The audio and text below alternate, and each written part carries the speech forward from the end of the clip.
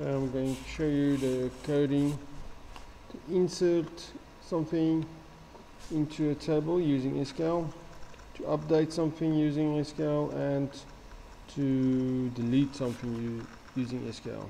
Okay, let's start with the easiest one, the delete. Okay, so you're going to select the record and then you are going to click on the delete button. It's going to take the current number in this ADOQuery. I'm going to save that in a variable i number. Then I'm going to ask the user, are you sure you want to delete? A warning message. If the message result is okay, then I'm going to do my SQL. I'm going to say delete, delete from, then the table name that you want to delete from.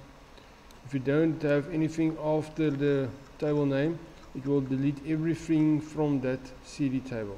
Okay, so make sure you have something like a where. You can say where number is equals to, and then you can use that number that is currently selected. Okay, so that number is integer, so you have to convert it to a string to concatenate it with the SQL statement.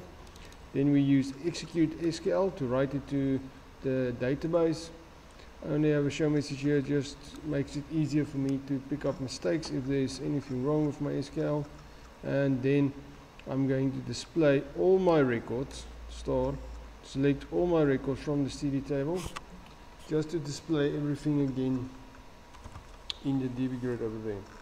Okay the next one is the increase or the update because I'm going to increase the replacement value by 10 so again it must only happen for the currently selected item. So I'm going to take the number, the current one which is selected. I assume it was the uh, primary key. So again, like the delete, I'm going to start with update if I want to update. So update, which table do you want to update? I want to update the CD table. Set, what do you want to set? I want to set the replacement value, the current replacement value.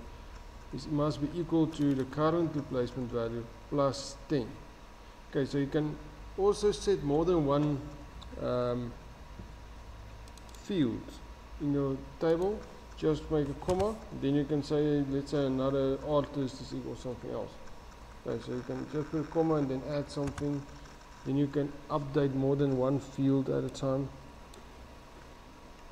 Then where the number is equals the current one that's selected. Okay, so then it's going to concatenate where the number is equals to the current number that is selected. With the insert, I'm going to enter, the user is going to enter everything in the edit boxes. I just made a little bit shorter. I'm only going to use the two over here, edit one, edit two, artist and CD name. Then I'm going to say insert into. Where do you want to insert into? I want to insert it into the CD table. Then in brackets, you must say all the fields that's going to get values. I'm going to give value for artists, comma, and I'm going to give a value for CD name. Then values, then in brackets, you must say the artist, which I got over here, will go into the artist field over there. Then the CD name, which I got from the edit 2.txt, will go into the CD name field over here. So you must make sure that you can't put the CD name first and then the artist second because then it's going to take the CD name and put it into the artist field and take the artist value and put it into the CD name field. Okay, so the, the, you must put it in the right order. And the data type must also match. If this is a string or text in your database, you must give it as a string. If it's a real, you must give it as a real. It's a boolean, you must give it as a boolean. Okay, so you must just convert it. Uh, quoted strings, just to be able to add it to, just to concatenate it, um, to display everything correctly. Then again, execute SQL. Every time you make changes to the database, you have to use the execute SQL. Okay, when, when are you making changes? When you insert, update, or delete, then you use execute SQL. Now I'm just going to disable this quickly just to show you what the quoted string will do.